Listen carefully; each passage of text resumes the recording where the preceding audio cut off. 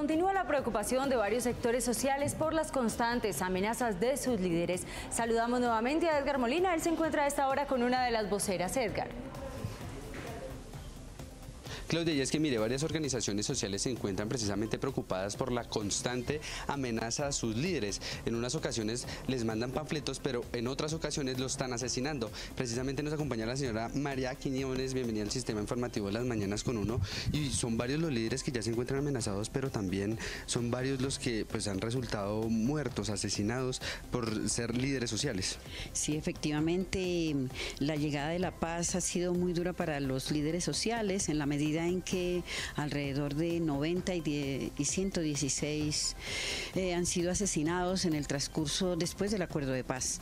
Eh, es doloroso tener que hacer estas cuentas y seguir con la preocupación de las amenazas. Alrededor de 50 líderes están amenazados, algunos de ellos han tenido que salir de su territorio, pero lo que más nos preocupa es eh, que no reconozcan que está existiendo el problema, el copamiento de las zonas en donde ha salido las FARC por eh, bandas criminales y por paramilitares y el descuido total para la seguridad de los líderes, que estamos peleando por el territorio, por la defensa de la vida y porque este país sea mejor.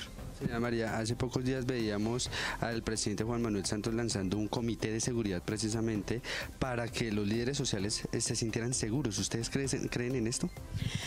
No es el hecho tanto de lo que crea, sino los resultados que da. Definitivamente eh, los esquemas de seguridad no se ajustan a las necesidades, eh, los, la valoración que se hace de las amenazas solo son ciertas cuando mueren o cuando amenazan a un compañero y, las medidas sobre todo no ajustan, no acompañan a todos los líderes sociales que están afectados. Señora María, muchas gracias por atender el sistema informativo de las mañanas con uno, entonces con esta, este análisis completo sobre la situación de los líderes sociales